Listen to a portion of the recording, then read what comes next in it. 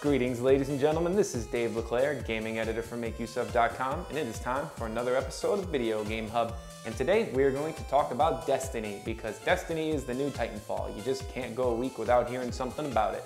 And now, what we've learned is that the beta for the game is coming in July to PlayStation consoles.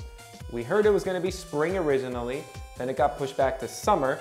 Now they've at least narrowed it down to a month, so we know July, that's right around the corner. So before you know it, you're gonna have it in your hands, you're gonna be playing it, you're gonna be all excited, and then they're gonna come, they're gonna pull it out of your hands and say, no, you can't have it anymore until September.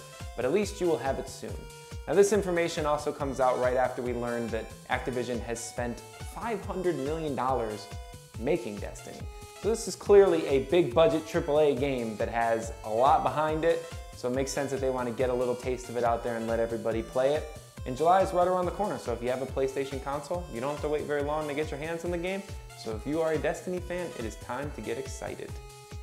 As always, I am Dave LeClaire. Thank you very much for watching this episode of Video Game Hub. Leave a like on this video if you enjoyed it and make sure to click the subscribe button right over here so that you never miss another episode of Video Game Hub, which we put out at various times throughout the week. And we will see you next time.